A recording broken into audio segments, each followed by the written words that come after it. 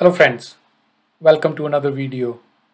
In this video, we are going to look into the new feature released in Power BI Desktop on November 2022 update.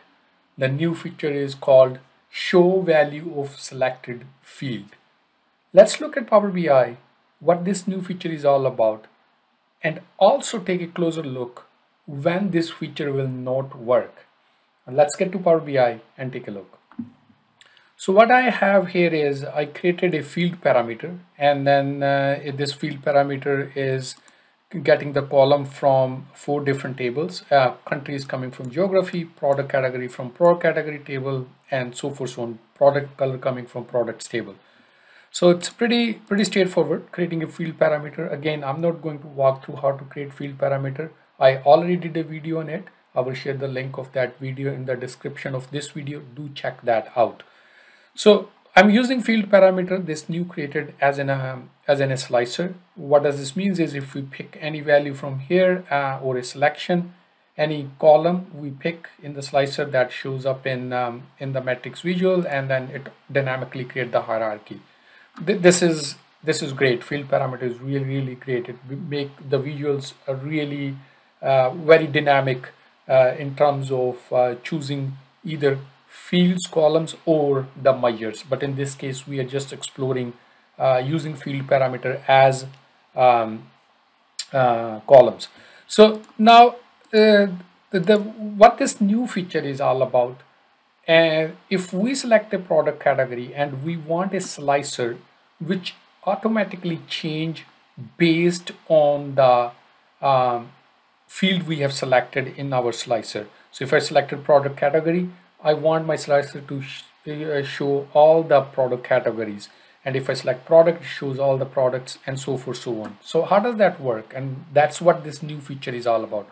There's a two ways we can make a copy of this slicer or we can bring our field parameter hierarchy column here. By default when you drop that column it it shows the all the values. But if we switch it to slicer it shows as the columns what we have in our field parameters. Now to show uh, the values of what is being selected, what we need to do is we need to change the property of this particular slicer. So let's say we have selected color here and now currently it is showing color because we haven't changed the property. So, so to show the value of the selected field, what we selected here in the color, what we need to do is we need to go to the field pane here uh, click drop down next to the column and then there is a feature called show value of selected field. So now when I do that it is giving me colors uh, because that's what I've selected. If I selected select product it will show the color and then I automatically create the hierarchy and shows the product. And if I just select product it is giving me all the products. Again I can go back and change it back to the show selected field so you can toggle between show selected field or, um, or show value of selected field. So this is working great. So I can go show value of selected field. And if I select country, now I see all the countries and everything works fine.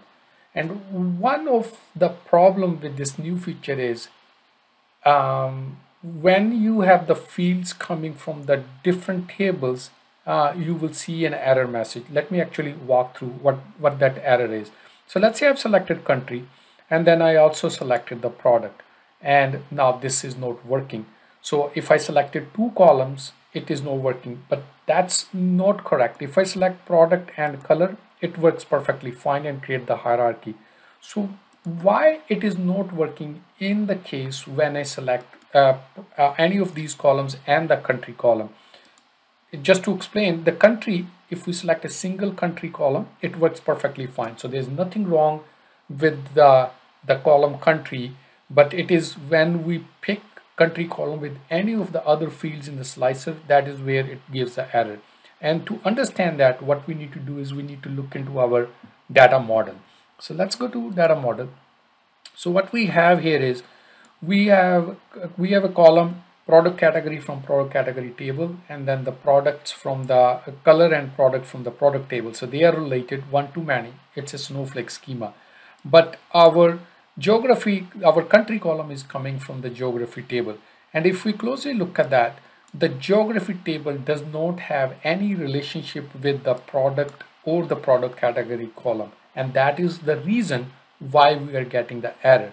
So if we are selecting the columns from the tables which are have a relationship, then everything works. But when there is a column from a table which does not have the relationship with the other tables where from where we use the columns, this doesn't work. So, and that's the problem. And if you look at the error message, the error message give you, it doesn't explain much, but it tells you the the issues with the relationship and uh, and that's why it is not working but the fundamental reason behind that is because the country column does not have direct relationship with the product table it doesn't work. Even though uh, the product category and the product works fine they are coming from the two different tables. So product category is coming from the product category table and the product is coming from the product table but it is still working. And the reason behind that because there is a relationship between product category and the product table.